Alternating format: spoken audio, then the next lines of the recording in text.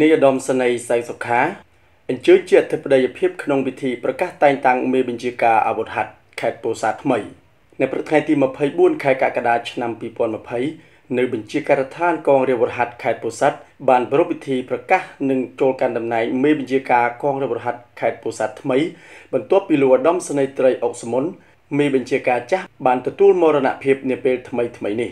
ពិធីនេះប្រព្រឹត្តទៅក្រោមអធិបតីភាពលោកនាយឧត្តមសេនីយ៍សៃសុខាអគ្គមេបញ្ជាការរងនៃកងយុទ្ធពលខេមរៈភូមិន្ទមេបញ្ជាការកងរាជអាវុធហត្ថលើផ្ទៃប្រទេសដោយមានអវត្តមានចូលរួមពីអាយដាមបណ្ឌិតម៉ៅធនិន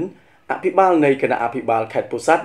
និងលោកឧត្តមសេនីយ៍មេបញ្ជាការរងនាយរងសេនាធិការស្នងការ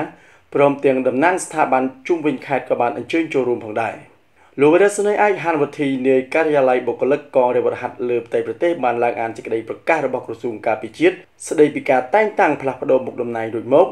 និងបន្ទាប់ពីលោកនាយឧត្តមសេនីយ៍សៃសុខាប្រគល់សេចក្តីប្រកាសនិងប្រគល់ត្រារួចមកឯកឧត្តមបណ្ឌិតម៉ៅធនិនអភិបាលនៃគណៈអភិបាលខេត្តពោធិ៍សាត់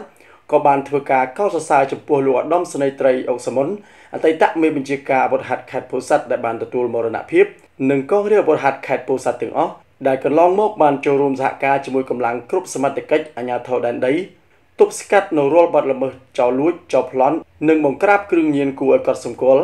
ជាមួយនោះបានជំរុញការកសាងនៅសមិទ្ធផលជាច្រើនដូច្នេះសូមឲ្យមេបញ្ជាការថ្មីនិងនាយនាយរងពលវុធហັດទាំងអស់បន្តសហការគ្នាល្អបន្ថែមទៀតនៅក្នុងឱកាសនោះដែរលោកនាយឧត្តមសេនីយ៍សៃសុខាបានគាំទ្រចំពោះប្រសាសន៍សម្ដីសំណាលនិងផ្ដាំផ្ញើរបស់អាយដាមបណ្ឌិតម៉ៅធនិន ចំពោះមេបញ្ជាការថ្មីព្រមទាំងបានថ្លែងអំណរគុណចំពោះសប្បុរសជនទាំងអស់ដែលកន្លងមកតែងតែបានជួយគាំទ្រដល់បញ្ជាការដ្ឋានកងរាជវុធហត្ថខេត្តពោធិ៍សាត់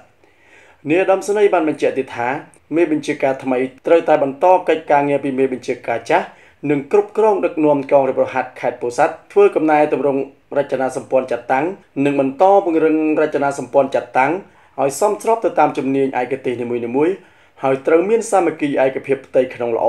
ឯកភាពរវាងមេបញ្ជាការនិងអ្នកនៅក្រោមអាវ៉ាតលោកនាយដំសនីមេបញ្ជាការបានផ្ដល់អនុសាសន៍ចំនួន5ចំណុចសំខាន់សំខាន់ដល់មេបញ្ជាការថ្មី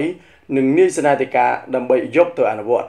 ទី1ការងារដឹកនាំត្រូវតែអនុវត្តទៅតាមគោលការណ៍បែបប្រជាធិបតេយ្យគឺសមូហភាពដឹកនាំនិងបុគ្គលទទួលខុសត្រូវទី2ត្រូវធ្វើជាស្នូលនៃសាមគ្គីឯកភាពផ្ទៃក្នុងនៃកងរាជវុធហត្ថទី3អំពីការងារដឹកនាំបញ្ជា ទី4 ការងារគ្រប់គ្រងអង្គភាព ទី5ការអប់រំរៀនសូត្រដល់កងរាជវុធហត្ថ